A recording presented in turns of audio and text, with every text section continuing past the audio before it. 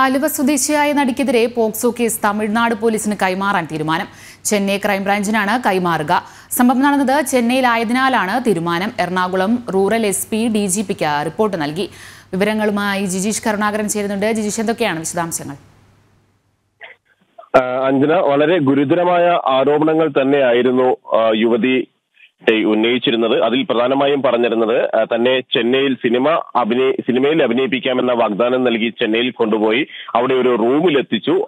ഈ സമയം അവിടെ ആറ് പേരുണ്ടായിരുന്നു. അതിൽ ഒരാൾ തന്നോട് മോശമായി പെരുമാറി. ഇതിനിടയിൽ അവിടെ നിന്ന് കുതിറി മാറിയാണ് രക്ഷപ്പെട്ടത് എന്ന കാര്യമായിരുന്നു ചൂണ്ടിക്കാണിച്ചിരുന്നത്. പ്രധാനമായും മാത്രമല്ല ഈ ആലുവ സ്വദേശിയായ നടിയാണ് ഇത്തരം സിനിമയിൽ അഭിനയിപ്പിക്കാമെന്ന വാഗ്ദാനം നൽകിക്കൊണ്ട് തന്നെ അവിടെ എത്തിച്ചത്. തന്നെ മാത്രമല്ല മറ്റു നിരവധി ആളുകളെയും പെൺകുട്ടികളെയും ഇത്തരത്തിൽ ചതിച്ചിട്ടുണ്ട്. അന്ന് തനിക്ക് പ്രായപൂർത്തി ആയിട്ടുണ്ടായിരുന്നില്ല എന്ന കാര്യം ഈ ഒരു പരാതിയിൽ ചൂണ്ടിക്കാണിക്കുന്നു. അങ്ങനെയാണ് പോക്സോ പ്രകാരമുള്ള കേസുകൾ ചുമത്തിയിരിക്കുന്നത്. രണ്ടായിരത്തി പതിനാലിൽ തന്റെ പതിനാറാം വയസ്സിലാണ് ചെന്നൈയിൽ എത്തിച്ച് മറ്റുള്ളവർക്ക് മുന്നിൽ കാഴ്ചവെക്കാൻ ശ്രമിച്ചത് എന്നാണ് ആലുവയിലെ നടിക്കെതിരായ പ്രധാനപ്പെട്ട ആരോപണം. മാത്രമല്ല ചെന്നൈയിൽ എത്തിച്ച് രണ്ടാമത്തെ ദിവസം ഓഡിഷൻ ഉണ്ടെന്ന് പറഞ്ഞ് ഹോട്ടലിലേക്ക് എത്തിക്കുകയായിരുന്നു. അപ്പോഴാണ് ഈ ആറുപേരിൽ നിന്ന് മോശം അനുഭവം ഉണ്ടായത് എന്ന കാര്യം പറയുന്നു.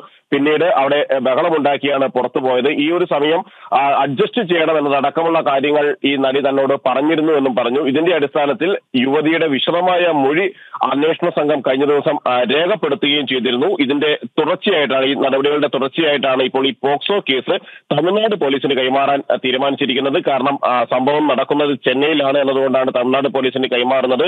ചെന്നൈ ക്രൈംബ്രാഞ്ച് ആയിരിക്കും ഇനി കേസ് ഏറ്റെടുക്കുക. ഈ ഒരു സംഭവം നടന്നത് ചെന്നൈയിലാണ്. മാത്രമല്ല rural S P D G പിക്ക് ഇത് സംബന്ധിച്ച റിപ്പോർട്ടും കൈമാറിയിട്ടുണ്ട് അഞ്ജന. ശരി. ആലുവ സ്വദേശിയായ നടിക്കെതിരെ പോക്സോ കേസ് തമിഴ്നാട് പോലീസിന് കൈമാറാൻ തീരുമാനം. ചെന്നൈ ക്രൈംബ്രാഞ്ചിനാണ് കൈമാറുക. സംഭവം നടന്നത് ചെന്നൈയിലായതിനാൽ തീരുമാനം Ernakulam rural S P D G പിക്ക് റിപ്പോർട്ട് നൽകി. വിവരങ്ങൾ നൽകുകയായിരുന്നു ജിജീഷ് കരുണാകരൻ.